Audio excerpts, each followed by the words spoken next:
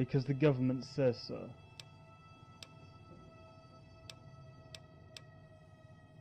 Well. Oh, fuck this.